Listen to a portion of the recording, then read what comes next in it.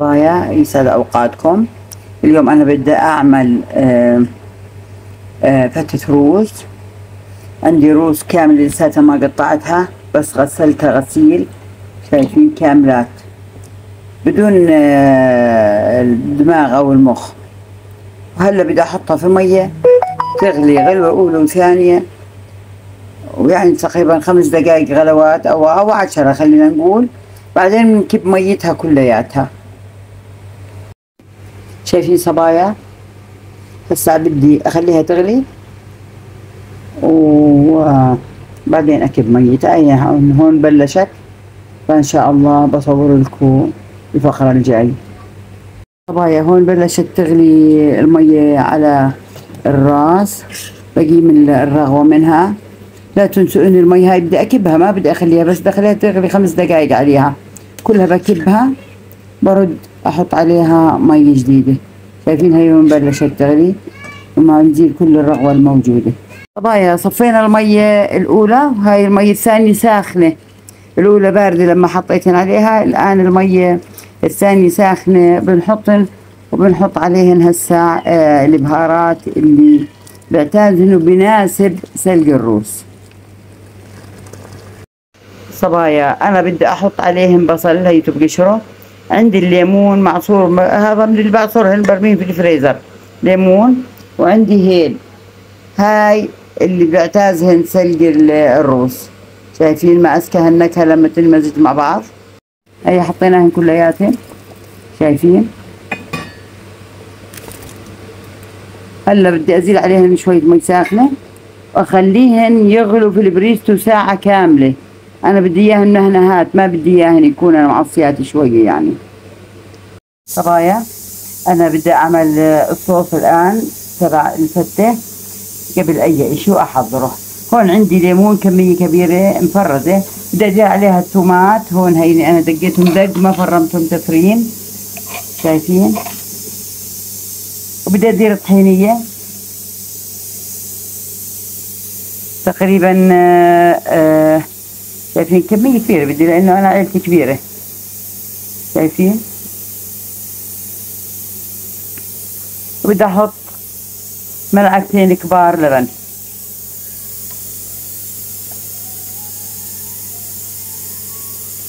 كمان واحدة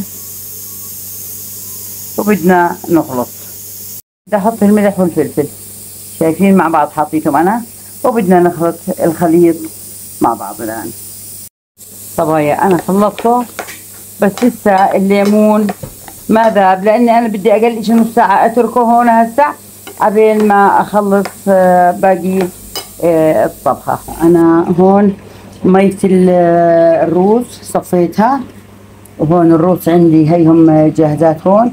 عندي مي باردة أنا مثلجة بدي أدير فيها اللسانات والهاي مشان تشد شوي معاي. وانظف لسانات من القشر شايفين كيف بدي اديرهم وأبلش أقشر في اللسانات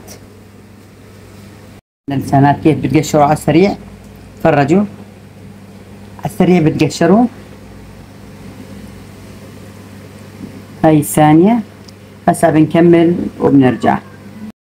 أنا هون. شايفين كيف قطعت الراس؟ قطع قطع. شايفين؟ هون بدي أحط عليها ملح.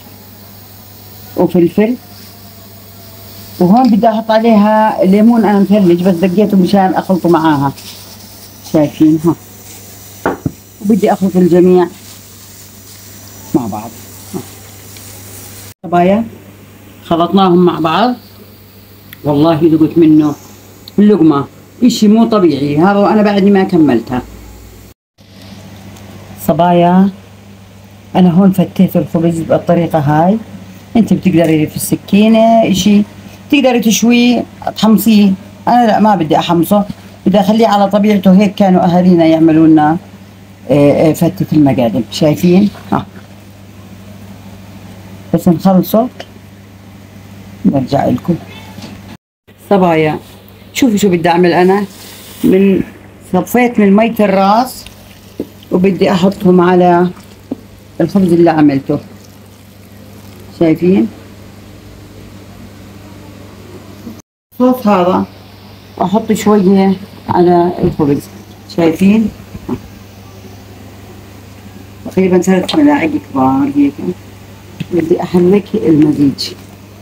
شوفوا كيف بستنى عاد لما يمتص الخبز كل الصوص. صبايا أنا عصرت ليمونتين وحطيتهم فوق المزيج هذا. شايفين؟ والآن بدي أديره في الجاك.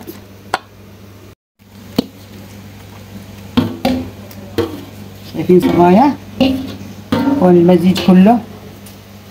بلش يتشرب الخبز. كل الصوص والحامض. يعني إشي مش طبيعي. بدي أحط شوية صوص هون كمان. شايفين؟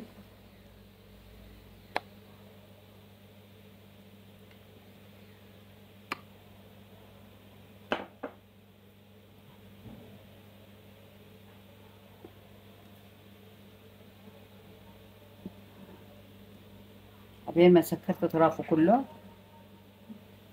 هنا جهزت معاي.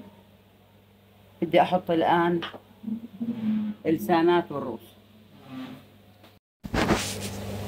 حطيت اللسانات والروس شايفين؟ أنا قطعتهم قطع صغيرة أسهل للأكل. طبعا كله ليمون وثوم.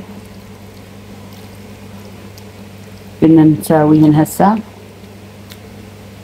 صبايا آخر آه، وصلة اللي هو صنوبر بالسمن البلدي. إن شاء الله تعالى بتجربوها وبتشوفوا كيف طعمها هون بنرشرش شوية صوص ترشرش مثل ما بحكوها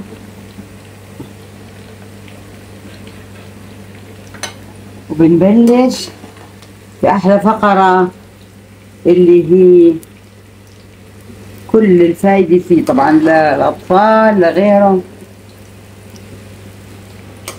يا ربي بتمنى الجميع يعملوها زيي.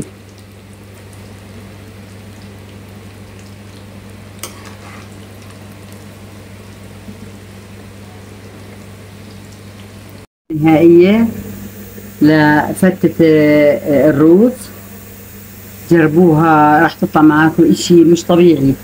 لو شفتوا الطعم واللون وزيادة الحامض عليها خرافي إشي خرافي.